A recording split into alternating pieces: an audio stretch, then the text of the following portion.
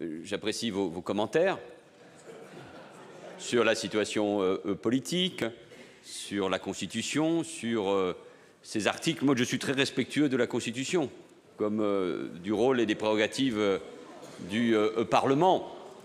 Cet article 49 alinéa 3 euh, existe.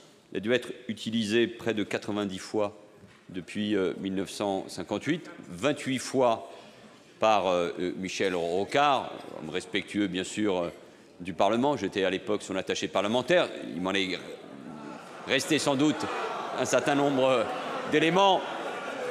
Et dire que c'est devenu un moyen aujourd'hui de gouverner, non.